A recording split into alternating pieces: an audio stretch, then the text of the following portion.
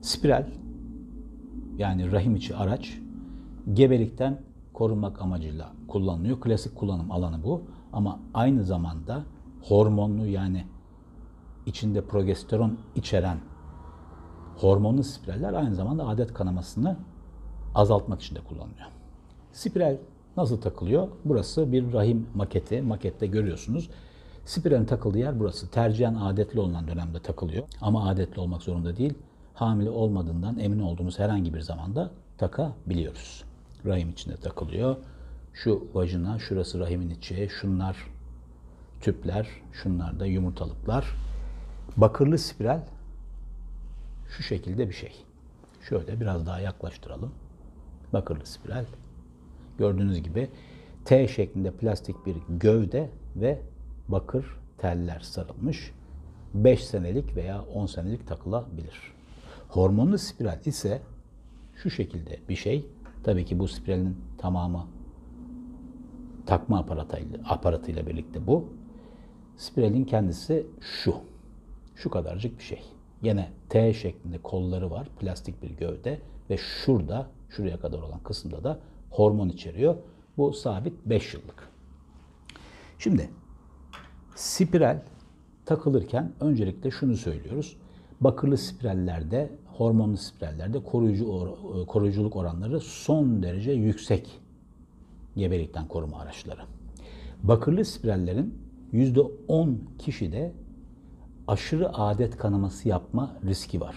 Bakırın rahim içini tahriş etmesi yüzünden. Ama bu tahriş tabii bakır sonuçta vücudun tanıdığı bir madde. Genel olarak bir tahriş yani vücut onu atmaya çalışıyor. Halbuki progesteronlu spiralde bilakis yani şu spiralde adet kanaması miktarı azalıyor. Yani şöyle söyleyeyim istatistik olarak konuşuyorum. Taktığımız hormonlu spiral taktığımız %90 kişide adet kanaması miktarı azalıyor. %5 ila 7 kişide aynı kalıyor. %3 kişide de tamamen duruyor. Tamamen durması rahim içinde kanın hapso, hapsolmasına bağlı değil. Sadece ve sadece progesteron hormonu, bu arada östrojen hormonu yok bunun içinde. Östrojen deyince çünkü kanserle ilişkilendiriliyor ama bu sadece progesteron içeren bir hormon. Geçici olarak sadece rahim iç tabakasının kalınlaşmasını engellediği için sonuç itibariyle adet kanaması nasıl oluşuyor? Adet kanamasıyla birlikte rahim iç tabakası dökülüyor ve inceliyor. Ondan sonra kalınlaşıyor, kalınlaşıyor, kalınlaşıyor. Siklusun sonunda, adet döngüsünün sonunda kanamayla dökülüyor. Ne kadar kalınlaşırsa o kadar fazla kanama oluyor. Bu tabii ki rahim iç tabakasının kalınlaşmasını engellediği engellediği için daha az kanama oluyor. Spirali çıkardığımız zaman aynen kanama paterni nasılsa öncesinde o şekilde devam ediyor. İşte bu etkisinden dolayı hormonlu spiralde bir de şöyle bir avantajımız oluyor. Herhangi bir nedene bağlanamayan yani işte polip olabilir, başka bir rahim içinde aşırı kalınlaşma olabilir, şu olabilir, bu olabilir.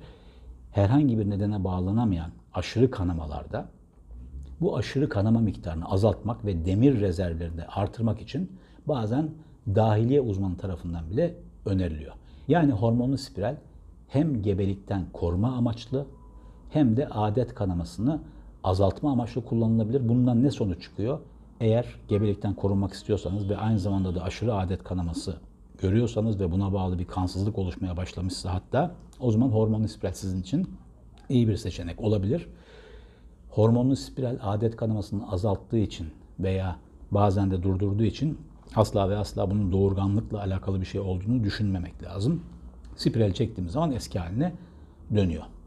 Hormonlu spiral takıldıktan sonra ilk günlerde hatta ilk haftalarda diyelim lekelenme tarzında kanamalar olabiliyor.